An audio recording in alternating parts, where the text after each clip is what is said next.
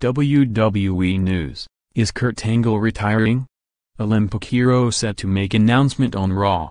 Angle returned to Vince McMahon's promotion in 2017 and was appointed as the general manager of Raw immediately after being inducted into the Hall of Fame. The 1996 Olympic gold medalist, though, was ousted by WWE Chief Brand Officer Stephanie McMahon after SummerSlam and was replaced by Baron Corbin. Since then the six-time world champion has had a handful of matches and lost to the likes of Corbin, Drew McIntyre and Dolph Ziggler. The 50-year-old legend's recent performances are not like the ones he put together during his prime back in the 2000s and that has left people wondering if he can still compete. The ex-WWE champion will address those concerns next Monday at the Moda Center in Portland, Oregon where he could even announce his retirement. The former World Heavyweight Champion took to Facebook where he shared a cryptic post outlining what's to come on Raw.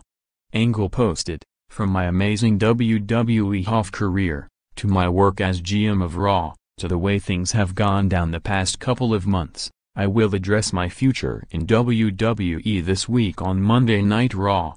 Hash it's true hash hash wrestling hash Thedruth. Angle is one of WWE's greatest legends as he managed to replicate his stunning Olympic success in the squared circle. The Olympic hero rose through the ranks quickly after his debut in 1999 as he won the Intercontinental, European and WWE Championship within a year. The Hall of Famer defeated some of the all-time best like Stone Cold Steve Austin, The Rock, The Undertaker and many more. The Wrestling Machine left the popular promotion in 2006 and spent 10 years in TNA where he won another six world titles. During his impressive tenure at Impact Wrestling he also beat global stars like Sting, AJ Styles, Samoa Joe and many more. Upon his return, Angle helped UFC Hall of Famer Ronda Rousey shine in the squared circle as they teamed up on her wrestling debut. The Olympic duo defeated McMahon and Triple H in a mixed tag team match at WrestleMania 34.